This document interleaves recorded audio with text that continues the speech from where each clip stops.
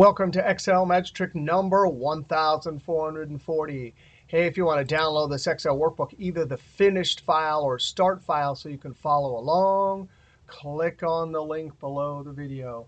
Hey, we got to talk more about the DAX in operator, but this time we're going to see how to use the in operator on two columns to combine an and, an or logical test directly in our measure. Now, here's our table of data, and here's our logical test to determine which sales numbers to include in our summing calculation. Now, in operator is fundamentally an OR operation, an OR logical test. But when we use two columns, we'll be able to combine the first part of the OR, which is an AND logical test, with the second part, which will be a second and logical test. So for a record to be included, we have to find the region east and the channel is website, or the region is west and the channel is website.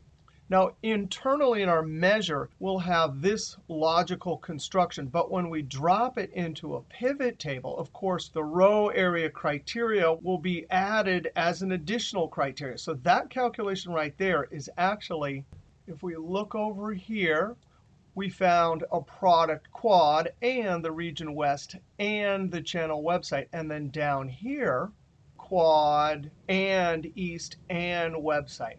So both of these numbers will be included in that total right there. Now here's the DAX formula we're going to use. And in order to get the in operator to work on multiple columns, we have to use this construction, putting the two columns inside of parentheses.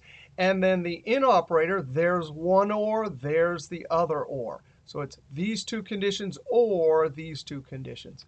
Now also in calculate, the filter argument cannot handle multiple columns. So anytime we have multiple columns, we then use the filter function. All right, now if we look down here, this is another way to do this. And I will do this formula at the end, and you can decide for yourself whether you like using the in operator or the or with a double ampersand for the and logical test. All right, this is the finished file. Let's go over to the start file. Now, over here in the start file, here's our table. I've already converted this to an Excel table by going up to Insert, clicking on Table button or Control-T, and I went ahead in Table Tools Design, named it F Sales. I've also already imported it into the data model. Now, if you do not have Power Pivot, go back and watch Excel Magic Trick 1439. Because if you have any version of Excel 2016, you can import tables into the data model and build DAX formulas. So go back and watch that one if you don't. Hey, in this video, I'm going to click here. I have Power Pivot, so I can click on Manage Data Model. I've already imported the table, and there's just one single table. Now, I could come back to Data View and build the formula here down in the measured grid. But guess what? We're going to go to add-ins, and we're going to use DAX Studio to build our formula. And then we'll copy it from there and paste it into our data model. Now, if you don't have DAX Studio, just go search Google for DAX Studio and download it. It's a free add-in. So I'm going to click DAX Studio. Now, because I had Excel open, it assumes I want the Open Excel Workbooks data model. By the way, if you have Power BI Desktop, you would click this button and browse to the correct folder. I'm going to say Connect. Now, here's DAX Studio. And before we start building our formula, I want to go look at our formula. Calculate is going to alter the filter context. Here's an aggregate function that will give us all of the sales. If we look inside our pivot table right now, if we just drag the sum, it would get the total for Bellen Carlo to quad. But calculate will alter the filter context. And look at this. We're going to use filter. Yes, we have our OR logical test using the in operator. But guess what? There's two columns here. So that means we're going to have to use filter to get calculate to work on two columns. Not only that, but filter is going to need a table to iterate over to find which rows are valid for this OR logical test. And we're not going to use the whole F sales table, we're going to use just two columns the two columns we're interested in for our OR logical test. Now, the way I want to build this over in DAX Studio is I want to build the all function first, see what it evaluates to, then the filter, see what it evaluates to, and then put that inside of calculate. All right, so over in DAX Studio, we can build our formula here. Not only that, but we can see our table and all of our columns. I'm going to click on the triangle to expose the columns. Now let's click right here. I'm going to use Control and Roll to zoom in. Now we're going to have to use the Evaluate command tab in order to see the all and filter tables that are generated in our DAX code. Now we're going to start with all. Now all is a function that, if we gave it the whole table, would just materialize the entire table, all records. But if we give all just a particular column, and I'm going to down arrow to region and tab, all will generate a unique list of items from that column. But watch this, comma. And this time I'm not going to type out. I'm going to come over and double click channel. I love DAX Studio. Look at that. It puts in the table and the field name in square brackets. Now, if I close parentheses on all, when you put two columns, it will give you a unique list of records from those two columns. Now let's evaluate this and see down here what filter we'll be iterating over. So when I click Run, there it is. It's a unique list of all the possibilities from our F sales region and channel. Now, why do we use all inside a filter instead of just F sales? because that means the filter function will be iterating, that means calculating for each row over a much smaller table. Now, for our data set, it doesn't matter at all in terms of performance. But for large data sets, it does matter. An efficient way to build this formula, regardless of whether it is a small or big data set. Now, let's put this inside a filter. fi tab. And filter needs a table in its first argument. All delivers a table. Now we come to the end, comma. And we need to filter that table to show just west website, east website. All right, now I'm going to hit enter. So the second argument of filter and this is an OR logical test, and we're operating on two columns. I'm going to put the two columns in parentheses. So I come over, region, double click, comma, channel, double click, close parentheses. So that's the two columns for in, space, in space. Now we have to use curly brackets. And since we have two conditions on two columns, we're going to use row constructor syntax here. Open parentheses. And now we can, in double quotes, do west and double quotes. That's from the first column, region, comma. And then the second condition, in double quotes, website, and double quote, close parentheses. Now I'm going to come right after in here and enter. Later, we'll use that button to format it.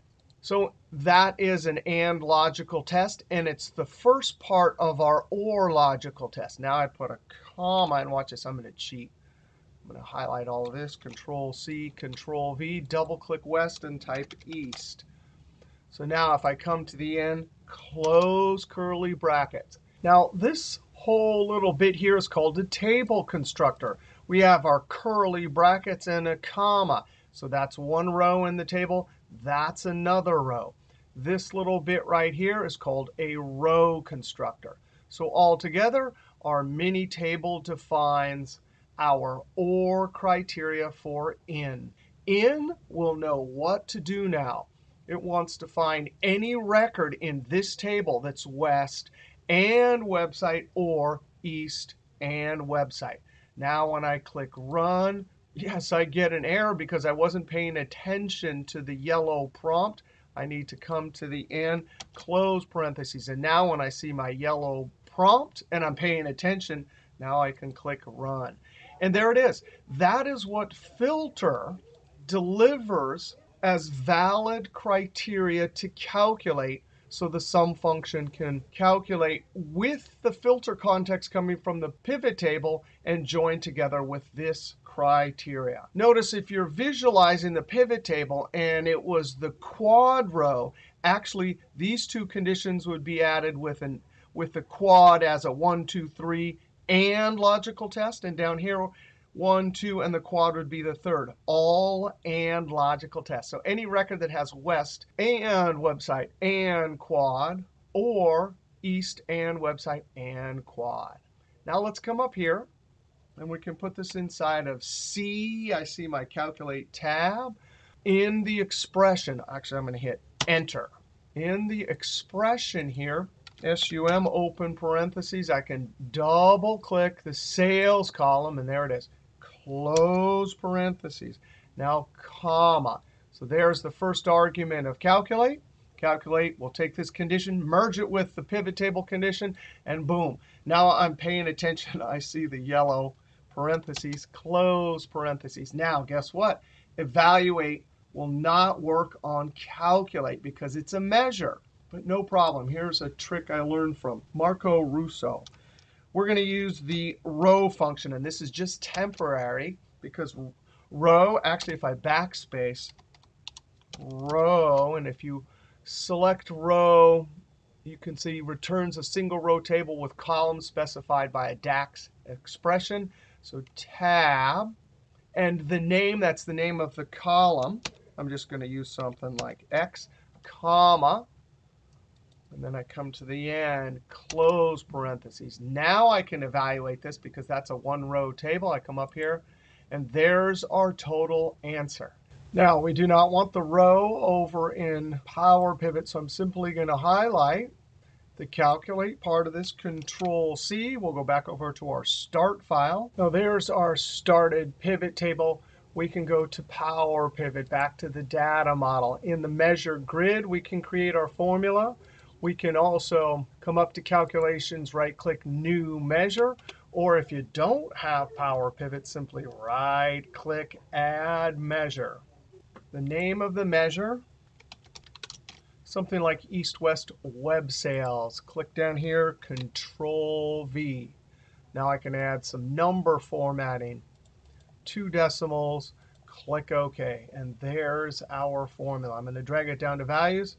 And just like that, we used in to do an OR logical test on two columns. Now I want to go back over to DAX Studio. And we want to try this with the OR function instead of the IN operator. I'm going to type OR, open parentheses.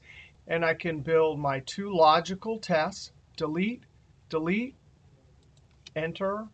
The first test is, hey, region, are you equal to east? then a space, and then double ampersand to instruct our formula to do an and logical test. Space, delete, delete, enter. And the channel will have to be equal to website in double quotes, comma. Now I'm going to come right to the beginning, right there, and hit enter. So we have our comma guess what? I'm just going to copy this and logical test, which is the first part of our or logical test. Copy, come to the end, enter, control V, and double click east and type west. Now notice earlier we did west first and then east. Of course, with an or or and logical test, it doesn't matter the order in which you test. It's all about how the trues and falses come out. Now I'm going to close parentheses on the or. Control Shift End to highlight all the way to the end, delete. I see my yellow prompt. Close parentheses on filter, close parentheses on calculate, close parentheses on row. Now I can click run. There it is. I get exactly the same answer. Now, before we copy and paste this over in Power Pivot, we can format it. And actually, we didn't format the first formula. But here, if I come up to Format Query, oh, wait a second, it's going to do the row x, and I don't want that. Control Z to undo over here in DAX Studio. I'm simply going to highlight that first part, delete, and then get rid of one of these parentheses over here. Now I can click format query. And there's our formatted code. Now, sometimes you bring your measure straight over here and you want to just format it. If you want to include the name, then you would type the name, colon, equal sign, delete, and then you can hit your format query, and there it is. I'm going to click here, Control A, Control C, Alt Tab. Come over to Pivot Table Field List, right click the table, Add Measure. Measure name, Control V, backspace a few. Come down here, Control V, and I'm not going to include this little title up here. Delete, delete. Currency, two decimals, click OK. Now, actually, I don't like that name. Right click, edit, site, and then O2. Click OK. Now we have our second measure. I can drag it down here, and we get exactly the same answer. All right, that was a little bit of fun with an OR logical test on two columns. We saw how to do it with IN. We saw how to do it with OR in the comments section. Tell me which one do you like better? Which one do you prefer? All right, we'll see you next video.